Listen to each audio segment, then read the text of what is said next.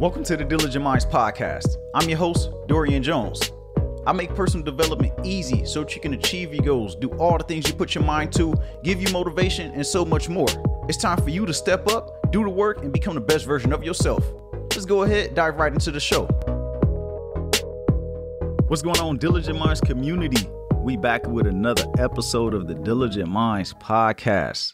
I know it's been a little minute. I know it's been two weeks. My bad. Hold up. I got a good reason why I wasn't here.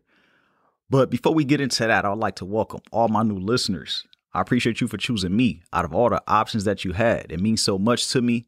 And if you like the show, don't forget to hit that subscribe button. Go ahead and hit that subscribe button. And everyone listening to this on Apple Podcasts, take a few seconds, scroll down to the bottom, leave a rating and review. It helps me grow the podcast. And don't forget to share with a friend or family member as well. So for me, the past couple of weeks have been they've been pretty good. Honestly, it's been really good weeks. I've been feeling like a new person. Uh, the first week why I missed it was because I was finishing up with that class that I was taking, and then I had got so overwhelmed because I waited to the last minute to finish a few things, and that was my fault. I hold myself accountable for that. But I did get it done. I did finish my class with an A with I think I had 94, 95%. So your boy's doing good with school. So that's why I missed the first week. And then the second week, which was last week, I was busy launching a podcast company, which is now live. I will put the link down below. It's called PodSpark. And the goal is to educate and help you grow your own podcast. So all the things that I've learned over the last, what, five and a half years of podcasting, I'll compress that for you. All the knowledge that I've learned, all the resources, everything is within this ebook. You do not need to leave. You don't need to to go and try to find a link. No, you can literally go in there, click it, and then you go where you need to go. And I'm also doing a special for the first 20 members to my membership. You will have it free for life. Have it free for life. All you got to do is go in there, subscribe, not even subscribe, just really um apply to the um apply to the community. You get in there, first 20 members are free. Everyone else after that is $19 a month. So if you've been thinking about starting a podcast, I'm helping people now with the company PodSpark. PodSpark Park Pod PodSpark Podcasting is the name of the company and is now live. I will put the link down below so that you can learn how to start your own podcast. And if you have any questions, reach out to me. Besides that, in the past couple of weeks, I joined a run club here in LA, and that's been really good. It's been a it's been like feeling like a, a safe space for me it's been a space where people come together and they link and they all have like minds and it's a calm and light space where I can connect with like-minded individuals. It's all about mindfulness and wellness, things that I'm into. And I've been saying that I want to get out a little bit more, I want to start just getting getting familiar with new people and new spaces. And that's what that's been doing for me. And it's a good community feeling. It gives me opportunity to run, work on my cardio, been working on my weight gain, which I gained what like maybe I say in the last two weeks, maybe eight pounds, but I know one of those weeks I gained five pounds. So I just been intentional about the things that I've been doing, intentional about the direction I'm going since I came back home. And all these things are just working out great. Just I'm really focusing step by step. I'm not worried about the past. I'm not worried about the future. I'm just focusing on the moment right now. And that's what we're going to talk about in today's episode. We're going to talk about bringing calm into your life. And that's something I'm going to touch on. And uh, before we even get into this episode, I want to take a moment and speak on uh, Sonya Massey's uh, death. I don't like that. I, I talked about it on uh, a post that I posted on Instagram because I tried to avoid seeing the footage, but you know, it was inevitable. I did see it and it just broke my heart. I'm not going to get too much into it because I get emotional about it. But it's one it's those things where we have to protect black women. Um, I know we you know we speak I'm speaking because I'm a black man, but I'm saying that because as a as a race, we don't stand by each other when it's not a cause. We don't stand by each other when there's not something going on. And there's no reason for her to lose her life. Just looking at that footage, just seeing everything. And what really bothers me is that they're going to put him on trial. What trial needs to happen? I'm not getting too political. I'm not getting too deep into it because I'm gonna get emotional. But some things are just are just evident. Who in a right mind will feel good trying to defend this man, defend his actions? Uh, so I just want to take a moment and just have a moment of silence for for Sonya Massey and for other uh, victims who lost their life as well. So let's take a few seconds and just have a moment of silence.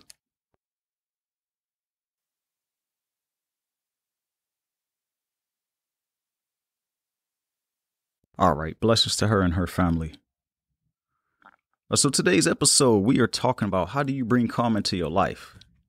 Because this came to me uh, because a few people actually said this to me before. They were like, "You just so calm, you so chill. How do you do it? Like, how are you? How do you remain so calm in certain situations?" And you know me in conversation, I'm always thinking like, you know what? I'm gonna make an episode about this, and that's where this episode came from.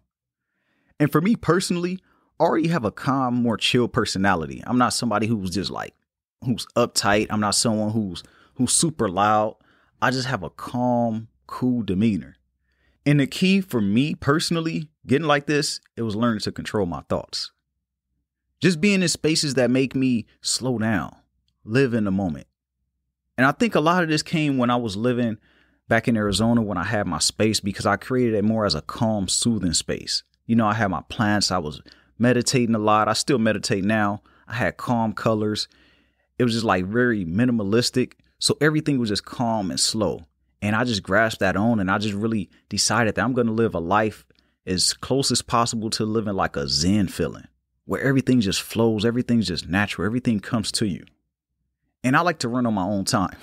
I'm somebody who don't like to rush. I don't like to do everything that everyone else is doing. I like to do me.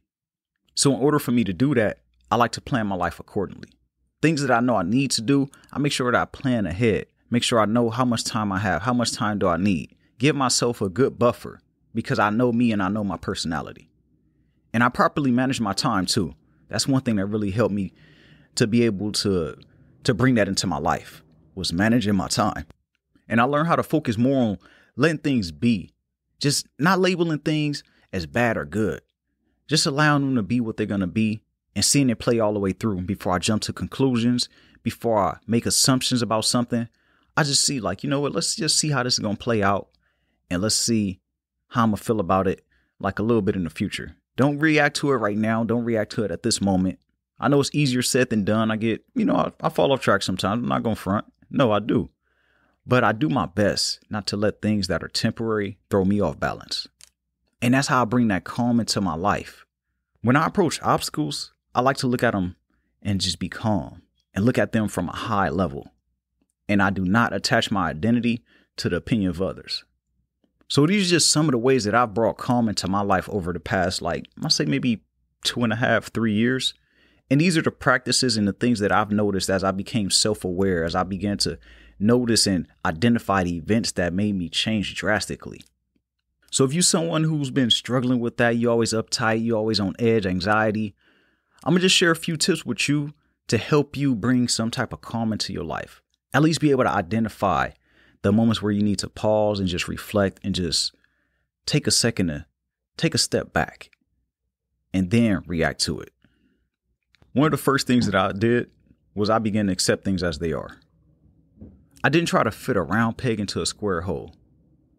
This goes for people, situations. I didn't try to make things into what I wanted them to be. And this allows you to see things as they are. And we may find ourselves trying to fix a situation that we cannot control. And all this does is it just frustrates you. It makes you mad. You get stressed out. You begin to overthink. We just need to allow things to be what they're going to be. You cannot change an individual. You can't change some circumstances. You just have to allow it to be what it's going to be. And it's all about how you react to it. Don't allow things that you can't control to throw you out of character. Don't allow these things to throw you off your frequency. You know who you are. You know who you want to become. And the way that you're reacting to these things, do they align with the person that you like to be? If not, take note of that and see how can you get the opposite reaction from yourself. The next thing you want to do is don't worry about what you can't control. If something is out of your control, just let it go. Allow it to be what it's going to be. Don't give it too much energy. Look at things like the weather. You cannot change it. All you can do is accept it and move accordingly. If you go out and you plan on having a sunny day, plan on the sun being out, next thing you know, a storm rolls in. You can't change it. All you can do is accept it and move accordingly. And the same thing goes for life events. Some things will be out of our control, and we find ourselves trying to make sense of, of what's happening and look for a way to mold it into what we like it to be. We try to control the uncontrollable. When in reality, when we're trying to do that, we're going to throw ourselves off balance again. We're going to throw off our energy levels. And then it's not in your control anymore. Once you try to take control of things that you can't control, then you give control to that one thing. That could be a tongue twister. I'm going to say that again. Anytime you're trying to control anything that's not in your control, you handing over the control of yourself into that event, into whatever's bothering you. So again, only worry about the things you can control and anything that you can't, don't allow to throw you off your frequency. Always move with purpose. Always move with intention. And that's what helped me bring calm into my life. If I can't control it, if it has nothing to do with me, like, hey, it is what it is. Like, I can't do that. Some people say that's being nonchalant. I'm like, nah, that's just me protecting myself. That's just me preserving my energy, knowing what I can and can't handle. And it may not work for you. It may not work for you as an individual. You may find another coping mechanism when you deal with things you can't control. Whatever you find that works best for you, do that. I'm not saying do what I'm doing. These are just recommendations based on my experience personally. And one of the biggest ones for me was I always learned to focus on the now and just live in the moment.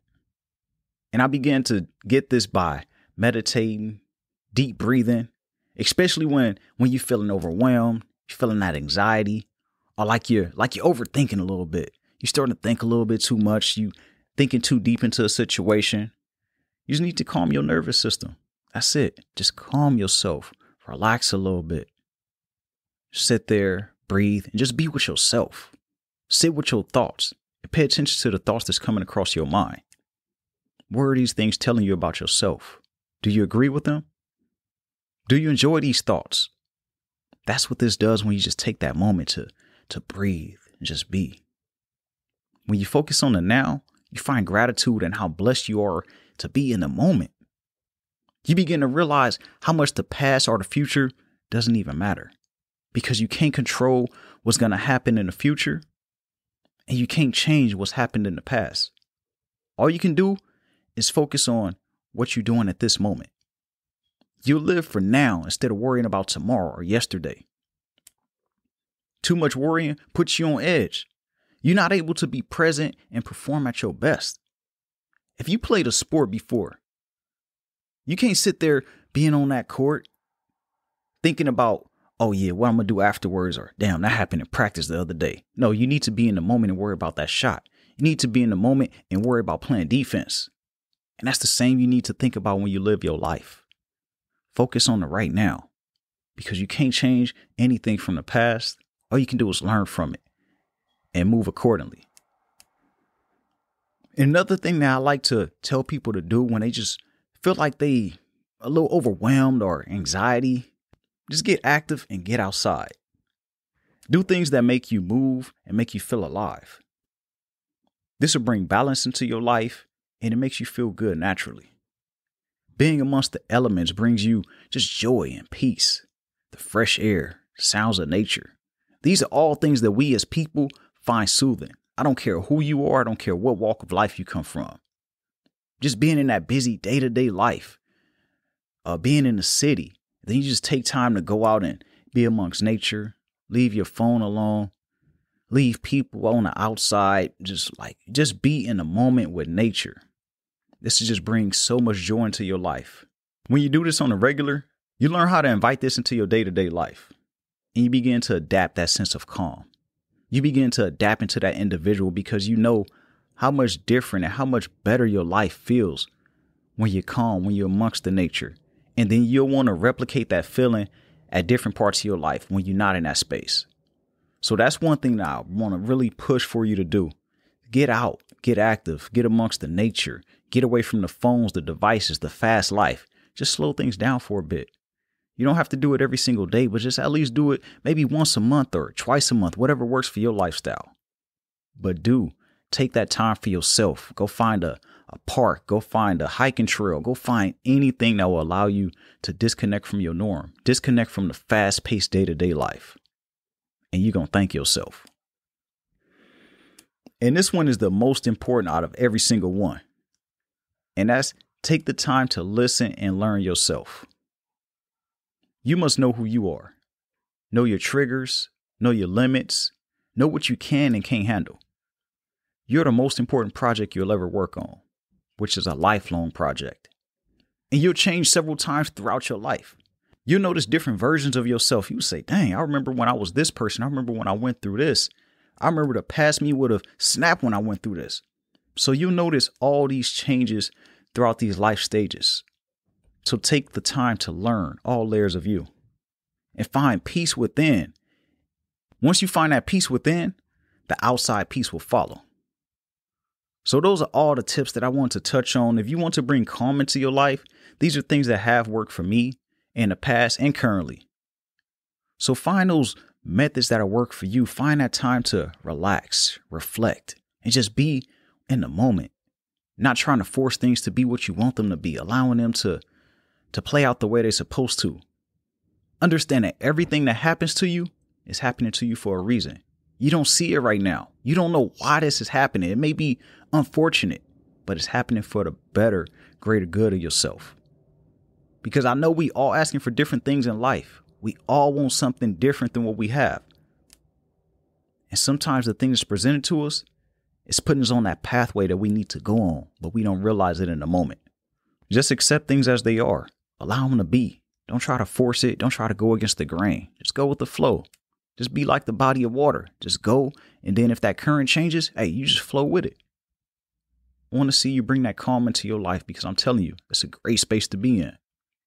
Don't forget to check out all the links down below. Don't forget to check out the podcasting company. Link is down there. Remember, first 20 members to the online community is free. The ebook is for sale. I'm not about to give it away because I put so much time and effort and so many resources in there that is well worth it. I'm not even about to say, "Oh yeah, it's free." Nah, it's not. we gotta, we gotta make sure that you get that value and understand that, hey, I'm I'm investing into myself. I need to take this serious. It's not about to break the bank or anything. You'll see it once you click on it. And if you don't want to, you could join the email list for the podcast as well. While still, we'll give out certain tips and tricks. Um, everything else is down there. Do not forget to leave a rating and review, refer to a family member or friend. Other than that, let's have a great week. It's going to be a great week. Set your intentions and just focus on what you can control. You hear that outro rolling in, you know what that means. Everybody's greatness within, even you.